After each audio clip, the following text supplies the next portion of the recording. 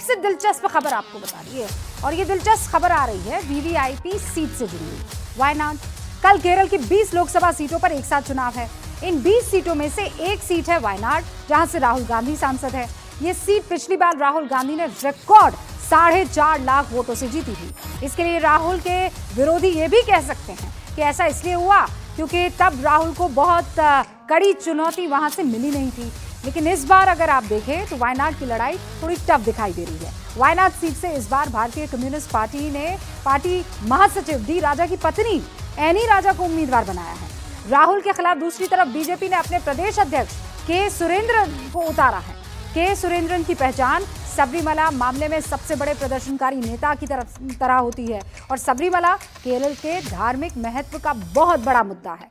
और इसीलिए लग रहा है कि वायनाड में इस बार राहुल गांधी के लिए त्रिकोणीय मुकाबला है और ये टक्कर वाला है, कड़ी टक्कर है।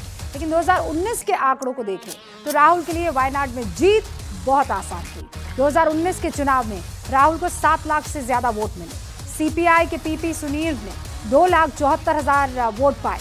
राहुल गांधी ने सीपीआई को साढ़े चार लाख से अधिक वोटों से हराया था। याद रखिए